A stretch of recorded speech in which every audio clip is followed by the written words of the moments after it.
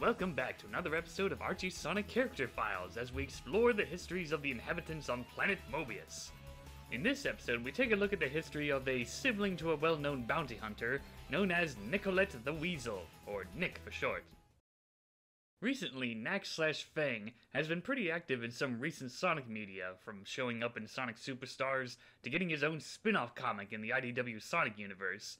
So I figured this would be a nice opportunity to talk about his sister. Yes, there is some piece of official Sonic media where this guy has a sister. Nic the Weasel made her first appearance in the Knuckles the Echidna spin off comics, from issue 26 through issue 28.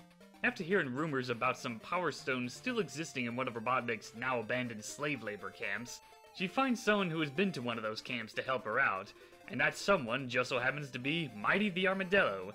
She persuades him at the chance that his friend Ray the Flying Squirrel might still be alive at that place after he disappeared years ago, and they fly off to the camp in Nic's shuttle. She meets up with her partner in crime, Fiona Fox, who isn't too thrilled about the idea of being reunited with Mighty. After doing some searching around, they find the vault that Nic was after, and with Mighty's help, they find both Ray and the Power Stone now trapped in limbo. She tries to neutralize the gem with her gun, but it ends up disappearing and freeing Ray. She's not too thrilled about losing the Power Stone, but at least Mighty is happy to be with Ray once again. The next time we would see her would be in issue 91 of the main series, along with issues 93 and 94. Around this time, Knuckles was going through his Chaos Knuckles phase, where his powerful chaos energy was awakening, and was now seen as a dangerous threat to the Albion High Council. Their leader, Galena, contacted Nic for her assistance, along with Nack, to find and capture Knuckles and bring him to them so that they can drain him of his chaos power. Despite the two weasels not liking the idea of having to work together, the High Council promises to reward them handsomely for their skills, so they're willing to put aside their sibling rivalry for the time being. They soon find Knuckles chatting with Charmy Bee and his fiancée, Saffron Bee. Nack shows up telling Knuckles to follow him, or else Nic will shoot the couple, so he agrees to his demands. After that, Knuckles was brought over to the council, and the two weasels were paid for their services, as long as they forgot this whole thing ever happened. Satisfied with the loot, Nic and Nack packed up and headed back to Nic's new shuttle, the Bounty 1, with the goods. As they took off, they saw that the Council's attempts to drain the Chaos energy from Knuckles has failed, and he is now teleported somewhere else. Galena tries to call on their services to recapture the powered-up Echidna, but the Weasels refuse the offer and head out. And that's pretty much it for Nic the Weasel. The last time we would see her again would be a brief cameo in a flashback from issue 165, showing that Nic and her former partner Fiona have had a history of dealing with Rouge the Bat during their treasure hunting days. And that's the history of Nic the Weasel, the less popular bounty hunter of the underground. Yeah, it might seem odd seeing Nack having a sister, but then again, Sonic himself is no stranger to having siblings in other official Sonic media. As for the character herself, she's okay, just following in the footsteps of her brother. Then again, it's unclear if they're the same age or if one is older than the other.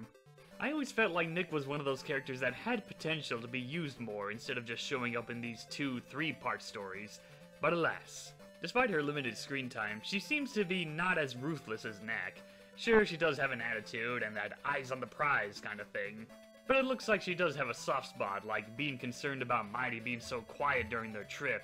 Or this shot where she shoots the Power Stone. I always found that odd. It's like she's willing to sacrifice the stone to save Ray after hearing Mighty's sob story. But then she yells at him, saying that he owes her one for losing the stone. I always kind of saw her as the more successful bounty hunter when compared to Nack, scoring a lot more money to afford all those aircrafts and all that. The first one just looks like a generic spaceship, but then you got the second one called the Bounty One, which looks cooler and Okay, it's obviously just the freaking Millennium Falcon from Star Wars. Well, her second appearance was written by Ken Penders, so of course there's gotta be some sci-fi stuff thrown in. And she claims that she got it from an old boyfriend, so apparently she went out with Han Solo at one point. Huh. I think they could have thought of something more unique and original, like make a more sleeker version of Nack's hovercraft, something that's like the newest model, so that she can gloat about it to her brother. As for her design, it's not that great. Like, the idea of Nack having a sister is good on paper, but design-wise, it just looks like a female Nack. And we don't even get much screen time of them over their sibling rivalry. Heck, we barely get any screen time of Nic and Fiona going on adventures. Though I guess you could argue that since we already have Nack, we don't really need two bounty hunter weasels.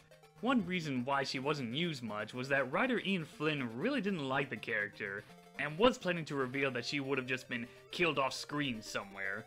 But when he mentioned that on the old defunct Bumbleking forums, people really wanted to see Nic come back in some way, so he decided to change his mind on the whole thing. And then the whole Ken Penders lawsuit happened, and whatever ideas he had for Nic were quickly thrown out the window. Perhaps Ian Flynn could have given us some neat stories with Nic. And all we're left with is the complete Sonic comic encyclopedia keeping her whereabouts vague. Some say she retired from the whole bounty hunter gig, while others say she was murdered by her own brother. Although personally, I think this is what really happened to Nic. I hear a you're bloke that stole my airship. Now hand it over. Over my dead body. Speaking of which, that same book actually features an unused redesign of the character made by Jay Axer, one of the artists on Archie Sonic. Then again, this isn't the first time that he's helped out in designing some Weasel characters for Archie Sonic. On one hand, I can see what they were going for in trying to make her stand out more, and I really dig the new outfit. But the overuse of pink for her fur is a bit much. Maybe it would have worked better if she had more of a light purple to her colors, and not just be the same color as Nack. Well, that takes care of this character file, so until then, I got a juice! I hear a you're bloke that stole my airship. Now hand it over. Over my dead body.